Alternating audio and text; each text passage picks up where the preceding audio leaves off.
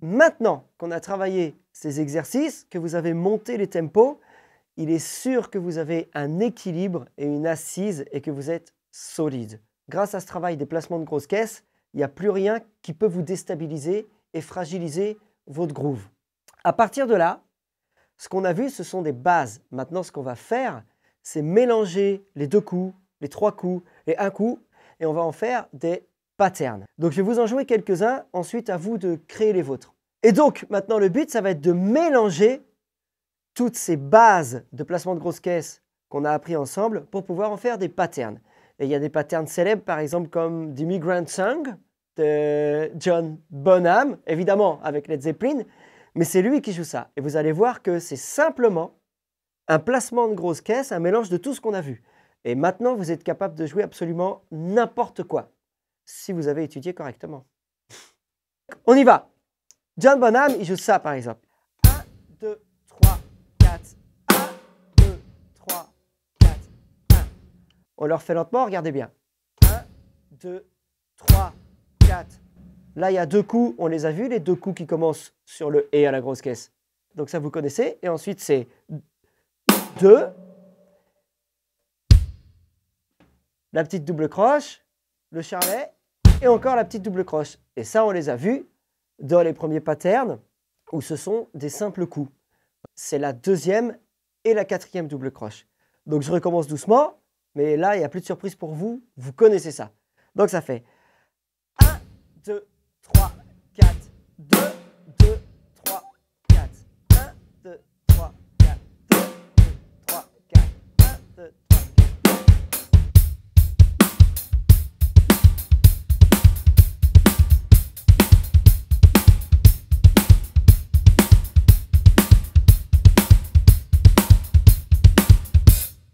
Ok? Donc je vais vous en donner d'autres là, mais en tout cas, il n'y aura plus de surprise pour vous. Vous pouvez écouter n'importe quoi, vous saurez le jouer.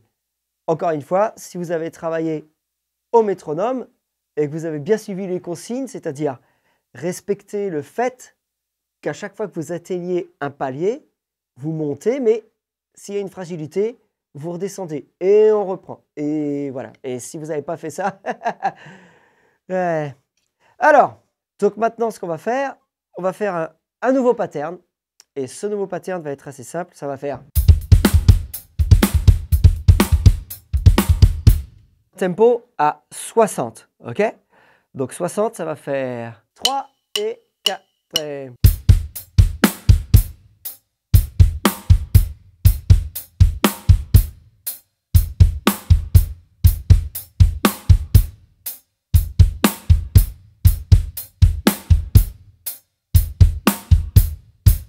Encore une fois, travaillez-le. Là, on est à 60 BPM. Encore une fois, travaillez-le à ce tempo et montez-le. Si vous pouvez le monter tout de suite, c'est super, allez-y.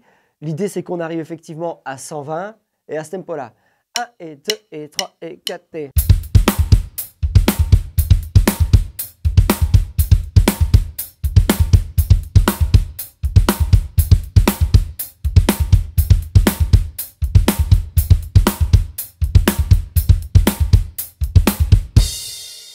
Une, euh, une autre pattern, 60 BPM.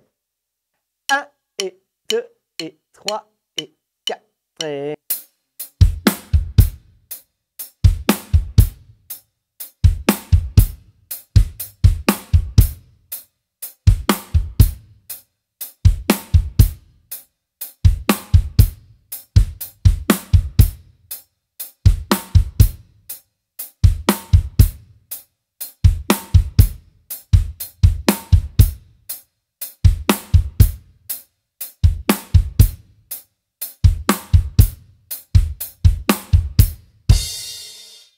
Et donc l'idée c'est de pouvoir atteindre un tempo plus rapide comme 120 par exemple. Ok? 1 et 2 et 3 et 4 et...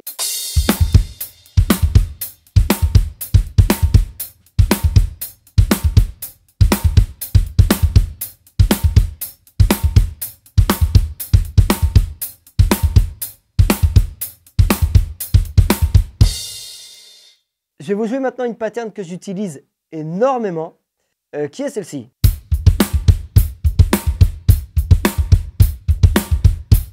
Ok, on va la faire à 60 BPM ensemble. 1 et 2 et 3 et 4. Et...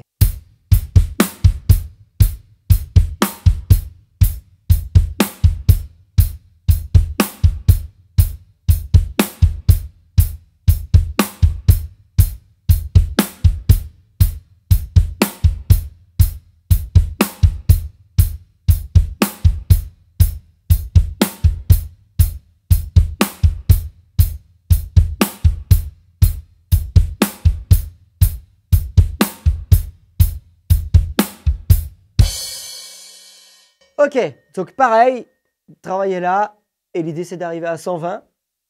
1 et 2 et 3 et 4 et...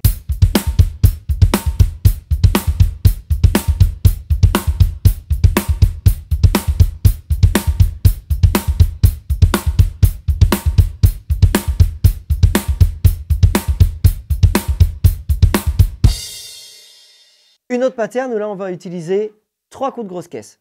Donc je vous la joue juste une fois comme ça.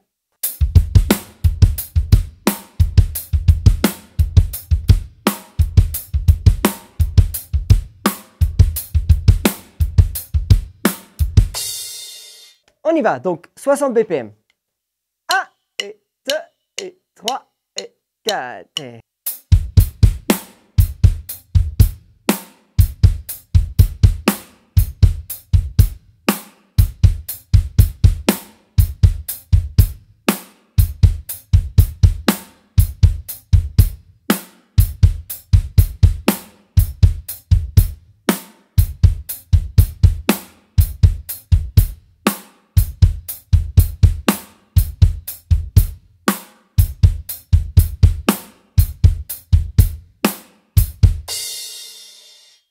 Ok, donc maintenant, même chose, 120 ppm. 1 et 2 et 3 et 4 et...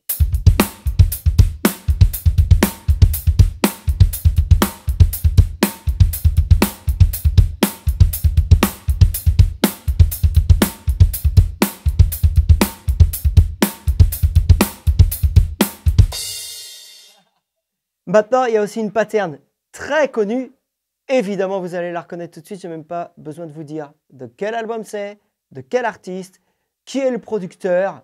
On connaît tous ce pattern, ok? Donc on le fait une fois à 60 BPM ensemble. Et 4 et 1 et 2 et 3 et 4 et...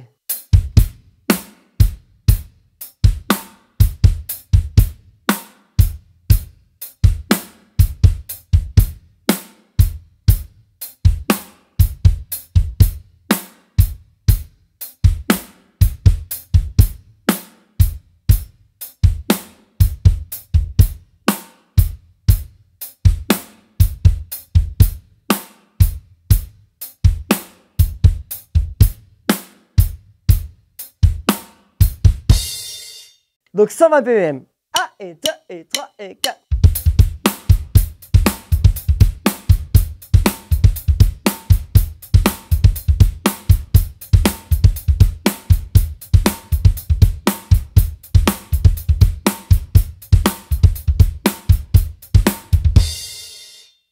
On aura tous reconnu If You Wanna Starting Something de Michael Jackson, produit par Quincy Jones.